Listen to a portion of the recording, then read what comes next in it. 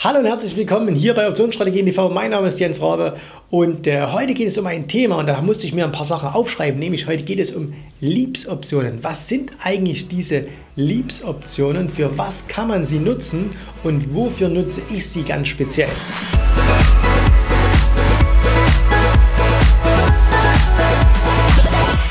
Leaps-Optionen. Das Schwierigste an dem Ganzen sind ein oder ist schon mal der Name. Ne? Leaps, L-E-A-P-S. Was heißt das eigentlich? Ich habe das extra nochmal aufgeschrieben. Und zwar, das heißt Long-Term Equity Anticipation Securities. Auf gut Deutsch, das sind einfach Optionen mit einer sehr, sehr langen Laufzeit. Ganz pauschal kann man sagen, das sind Optionen mit einer Restlaufzeit von mehr als einem Jahr. Äh, diese Leaps-Optionen, die gibt es äh, überall, die gibt es in den USA, die gibt es an der Eurex. Und die sind vom Aufbau grundsätzlich genauso wie äh, ganz normale Optionen, also wie eine Weekly-Option oder wie eine Standard-Option, bloß eben, dass sie diese lange Laufzeit haben.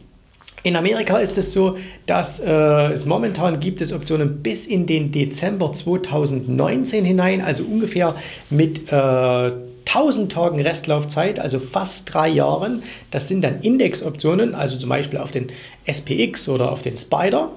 Äh, auf einzelne Aktien gibt es das in der Regel zwei Jahre im Voraus und bei den Leaps-Optionen in den USA laufen die immer bis in den ähm, Dezember. Ne? Also das sind immer Dezember-Optionen. So, interessanterweise an der Eurex, wo also die äh, Optionen auf deutsche Aktien gehandelt werden oder auch zum Beispiel Indexoptionen auf den DAX, da haben wir was ganz Interessantes, nämlich da gibt es sogar noch länger laufende Optionen, denn da gibt es sogar Optionen beispielsweise auf den DAX bis in den Dezember 2021. Ne? Also wirklich richtig lange hin.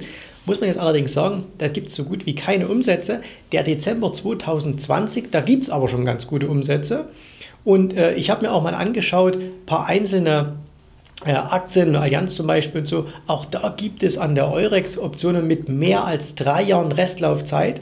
Und äh, das könnte eine sehr, sehr interessante Situation sein oder sehr, sehr, sehr interessante Handelsmöglichkeit sein, wenn Folgendes eintritt. Und zwar, darüber reden wir jetzt. Ähm, was ist das Besondere an so einer langlaufenden Option? Wenn man sich das mal überlegt, wie setzt sich der Preis einer Option zusammen? Ne? Da gibt es inneren Wert, der kann vorhanden sein, der muss nicht zwingend vorhanden sein und aber natürlich dem Zeitwert. Und der Zeitwert muss natürlich umso größer sein, je länger diese Optionen laufen. Und äh, gleichzeitig muss natürlich der Zeitwertverfall dieser Optionen gerade zu Beginn sehr, sehr langsam sein. Ne? Ihr kennt alle dieses Bild, Zeitwertverfall am Anfang relativ langsam, dann geht es steil nach unten. Und wenn ich eben jetzt eine Option habe, die ein Jahr, zwei Jahre, vielleicht sogar drei Jahre Restlaufzeit hat, dann hat die natürlich zu Beginn einen sehr, sehr geringen Zeitwertverfall. Also wenn du so eine Option kaufst äh, und hältst die mal zwei Wochen, dann hast du so gut wie keinen Zeitwertverfall äh, zu verzeichnen. Du musst natürlich einen entsprechend hohen Zeitwert aufwenden. Und das wird zum Beispiel ganz gern genutzt, wenn man sagt, okay, ähm, ich, äh, es gibt diese Strategie, ich weiß nicht, ob wir hier, hier schon mal darüber gesprochen haben, wenn nicht, holen wir das nach, diesen sogenannten Poor Man Covered, Covered Call, also den arme Leute Covered Call, wo man eben nicht die Aktien kauft, sondern eine langlaufende Option, da bietet sich hier so eine Leaps-Option an und dann eben kurzlaufende Call-Option dagegen schreibt, äh, weil der Vorteil ist natürlich, du hast keinen Zeitwert oder kaum Zeitwertverlust in der sehr langlaufenden Option. Äh, Genauso könnte man solche Optionen nutzen, wenn man zum Beispiel sagt, okay, ich möchte Aktien kaufen. Nehmen wir mal an, zum Beispiel du kaufst Apple. Und äh, wir schauen uns mal einen Chart hier von Apple an. Ihr seht, Apple gerade neues Allzeithoch gemacht, kostet irgendwas um die äh, 140 Dollar so ungefähr. Und äh, jetzt könntest du ja sagen, okay, ich möchte diese Aktie kaufen. Dann musst du natürlich hier ähm, entsprechendes Geld aufwenden. Ne? Also zum Beispiel 100 Stück kosten dich dann eben 14.000 Dollar. So, jetzt könntest du aber hergehen, könntest sagen, ich habe ein absolut positives Bild von dieser Aktie und deswegen möchte ich sie haben. Ich möchte bloß nicht so viel Geld aufwenden. Jetzt könntest du dir eine sehr, sehr langlaufende Option kaufen, zum Beispiel zwei Jahre Restlaufzeit und äh, würdest für so eine Option am aktuellen Strike, also zum Beispiel einen 140er, äh, einen 140er ähm, Call, würdest du momentan ungefähr so 18 Dollar bezahlen. Also das heißt 1800 Dollar für eine Option, sprich 18 Dollar pro Aktie. Und jetzt hast du natürlich auf der einen Seite 14.000 Dollar und hier eben nur 18 oder 8, 1800 Dollar, so ist es genau. Das heißt nur ungefähr 13 Prozent, das heißt viel, viel weniger Liquidität, die du aufwenden musst. Pferdefuß daran ist natürlich, wo kommt die Aktie ins Geld, also wo muss es hinlaufen. Natürlich muss diese Prämie, die 18 Dollar, was reiner Zeitwert ist, erstmal verdient werden. Das heißt, am Ende liegt dein Break-Even natürlich erst einmal nur bei oder erst bei 160, ne? also eben auch ungefähr 13 Prozent über dem aktuellen Preis. Das heißt, da muss ich schon in den nächsten zwei Jahren ordentlich was bewegen, damit du am Ende mit so einer Option äh, ins Geld kommst. Und das ist natürlich dann auch so ein bisschen für mich persönlich das Handicap. Deswegen, ich bin nicht ganz so der große Fan von solchen Optionen, wenn man sie kauft. Wie gesagt, mal für eine Spekulation, wenn du sagst, die bricht gerade auf für zwei, drei Wochen.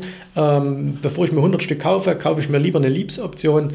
Äh, Habe ich kaum Zeitwertverlust, kontrolliere auch 100 Aktien und ähm, nehme da entsprechend auch was mit. Ihr wisst, wenn ihr eine Delta 50 Option kauft, habt ihr äh, ungefähr, wäre es so, als würdet ihr 50 Aktien kaufen. Das ist natürlich viel, viel billiger, dann mit der Option umzusetzen, als mit der Aktie selbst. Jetzt gibt es allerdings noch einen Punkt, der mir persönlich bei diesen Liebsoptionen ganz besonders gefällt. Nämlich, äh, jetzt müssen wir mal so ein ganz klein wenig in die Griechen hineingehen.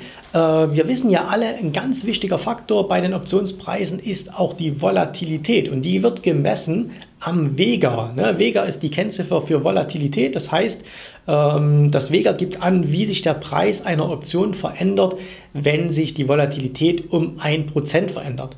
Und wir machen das mal am Beispiel des SP 500, also am Spider. Jetzt schauen wir uns mal an, ähm, wie da momentan bei zwei verschiedenen Optionen auf den Spider äh, die Vegas verteilt sind. Und zwar, ich habe euch das mal hier in den Chart mal eingeschrieben und da seht ihr eben hier als allererstes einen, äh, oder seht ihr auf der linken Seite, seht ihr ähm, eine relativ kurzlaufende Option, 50 Tage ungefähr, einen At the Money Put. Und da seht ihr hier, ich muss es mir selber, äh, ich habe mir das notiert, ein Vega von 0,3805. Also sagen wir einfach 0,38. Okay? So, jetzt schauen wir uns die langlaufende Option an, ähm, die also äh, viele, viele, viele, viele Monate noch Restlaufzeit hat, fast drei Jahre. Und die hat eben einen Vega von 1,46. Das heißt das Mehrfache. Und was ist jetzt das Spannende daran? Überlegen wir mal, was passiert, wenn die Märkte auf Tauchstation gehen. Die Märkte gehen runter, was geht gleichzeitig hoch? Die Volatilität geht hoch und da die Volatilität über das Vega auf den Preis der Optionen wirkt, was wird also besonders teuer? Die langlaufenden Optionen. Das passiert jetzt nicht, wenn es mal eine ganz schnelle Bewegung an einem Tag gibt. Ne? Aber wenn es Bewegungen gibt, wo wirklich mal die Wohle ein bisschen anspringt, ne?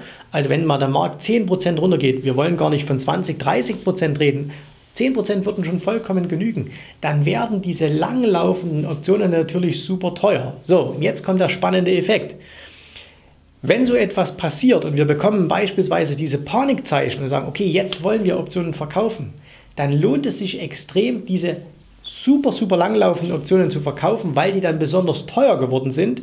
Und jetzt passiert Folgendes, jetzt geht ja auch die Volatilität wieder runter. Das heißt, das Vega wirkt jetzt für uns und der Preis der Optionen sinkt auch wieder entsprechend. Das bedeutet, diese langlaufenden Optionen verlieren unheimlich schnell an Wert, gemessen am Zeitwert, den sie noch haben. Und da können wir eigentlich in relativ kurzer Zeit eine sehr, sehr hohe Prämie generieren. Das heißt, nach einem Crash ist es viel besser, langlaufende Optionen zu verkaufen als kurzlaufende Optionen.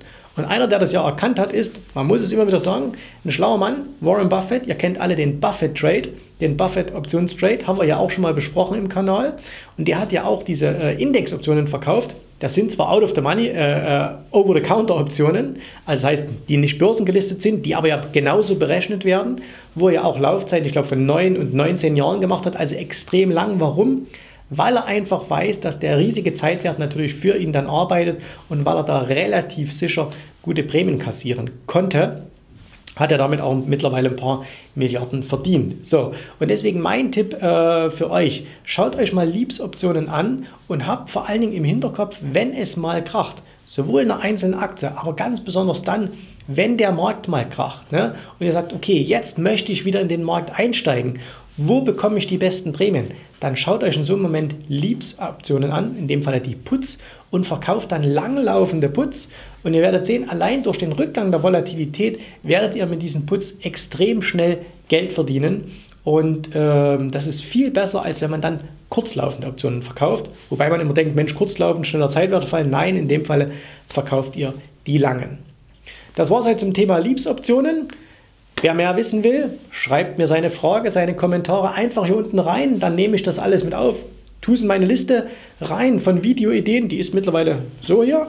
Ja, die wird immer länger. Nichtsdestotrotz, alles äh, wird bearbeitet. Also, und dann sehen wir uns demnächst wieder hier in diesem Kanal. Vielen Dank für euer Zuschauen, für eure Mitarbeit, für eure vielen Fragen, Anregungen und die vielen positiven äh, Rückmeldungen. Das freut mich wirklich sehr. Bis zum nächsten Mal. Servus, macht's gut. Bye, bye.